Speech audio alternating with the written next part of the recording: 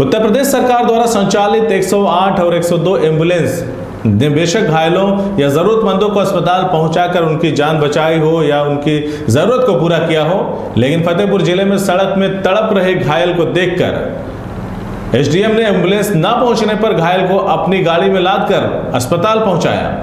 वहीं एसडीएम की मानवता देखकर लोग दंग रह गए। वहीं जब एसडीएम से बात की गई तो उनका कहना था कि एसडीएम बाद में है, पहले इंसान है।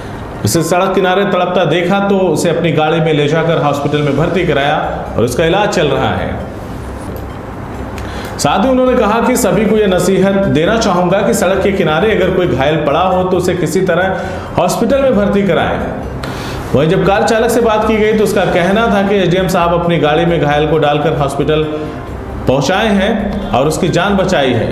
तो उनसे यही प्रेरणा मिली है कि अगर कोई घायल पड़ा है तो उसे तत्काल अस्पताल में भर्ती कराएँ। किसी एंबुलेंस का इंतज़ार ना करें। आपको बता दें कि बीती रात साइकिल सवार को एक स्कॉर्पियो ने टक्कर मारते हुए मौके से फरार हो गई। तभी वहाँ से एसडीएम साहब निकल रहे थे, जिन्होंने अपनी गाड़ी में उस घायल को डालकर अस्पताल पहुँचाया। एक मीटिंग चल रही थी। आज मुख्य निर्वाचन अधिकारी महोदय का कार्यक्रम था। तो उस मीटिंग के उपरांत हम अपने तहसील क्षेत्र में चौडगरा साइड से होकर आ रहे थे तो गाड़ियों का काफिला जाम में फंसा हुआ था।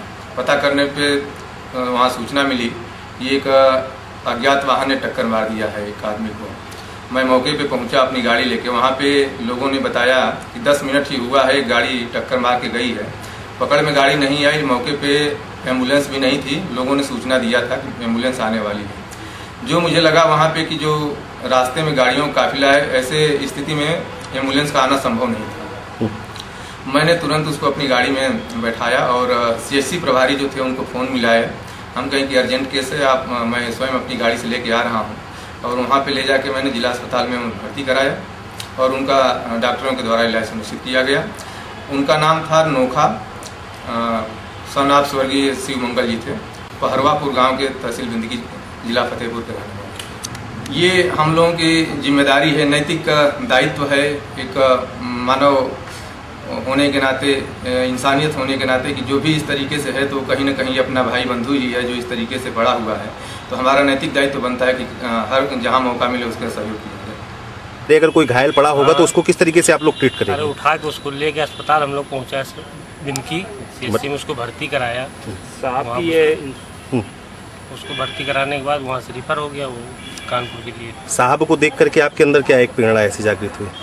बहुत अच्छा लगा हम लोगों को ये साहब बहुत साहब भी हम लोग को कह नहीं चलो इसको लेके चलो एंबुलेंस मौके पर नहीं पहुँची इसलिए फिर हम लोग अपनी गाड़ी पे लाए ले गए तुरंत अस्पताल आगे से आप लोग भी इसी तरीके फॉलो करेंगे? जी बिल्कुल बिल्कुल। कोई भी घायल पड़ा हो तो एंबुलेंस का इंतज़ार नहीं सबसे पहले तुरंत फॉलो करेंगे।